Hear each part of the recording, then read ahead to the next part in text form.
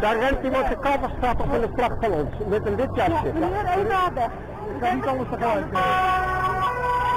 kan niet fotograferen. Die andere gaat Daar is iemand met een Israëlische vlag weggerend, wit jasje. Ja, daar gaan we niet op tegen natuurlijk. hè.